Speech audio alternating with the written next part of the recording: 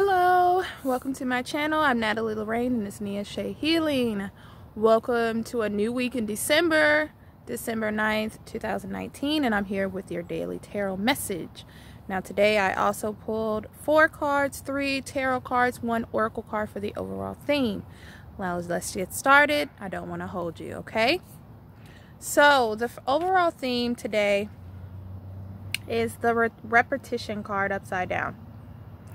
So when I see that card, normally when I feel when I get a reverse card, normally means that you're doing something wrong. Today, I'm getting the reverse card kind of twofold. So, reverse repetition means that you are doing something over and over again, expecting a different result. Okay, so repetition, re repetition upside down means that you should not be doing that. Okay, so I read this reversal is actually in the upright where you have decided to stop doing that.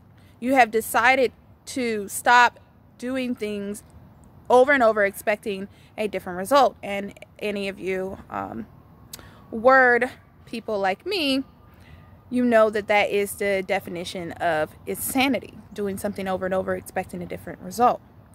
So, it makes sense once I pull the three cards following it. We have the Nine of Swords. Okay. Followed by the Seven of Pentacles, upright. And concluding with, I love this card, man. The Eight of Swords. All right, you got two swords decks and a two swords and a pentacle. So, with that being said, the Nine of Swords to me today is saying that you're kind of letting things fall away from you. Okay, you are taking the time to realize that things that are not in your control you you can't control them and you're not wanting to to hold on to them okay? And this can resonate with people who are people pleasers. And you know you desperately want the people to be happy with you at all times and everyone. And as you grow wiser you realize that that's impossible. Everyone can't love you all the time some people just won't like you just because their own internal things and sometimes you just don't mesh with someone and that's fine.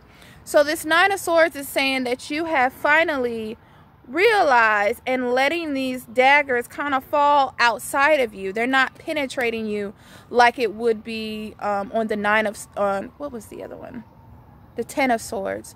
One of the cards that i normally show you with the burdens i can't remember right now that's terrible and then with this Seven of Pentacles, this is like planting things. This is tending to a garden. Tending to a garden of your life, essentially. So taking away from the old ideas or leaving the old ideals behind and kind of planting new ideals for you. And with anything, you know, you don't plant a seed and then overnight there's a tree or a rose bush or whatever you're planting, a plant. It takes time and nurturing. You have to water it. You have to give it sunlight. You have to weed it if need be. These are things you have to tend to these things so it can form strong roots in order for it to be a solid part of your life. So that is what a lot of people are doing right now. They're planting these new ideals that um, will take them from 2020 until 2030. Okay, this is a big decade for a lot of people in 2020 to kick off, and then from 2010 or 2010, 2020 to 2030, you're going to see a lot of transitions. Okay, and this is all very positive things.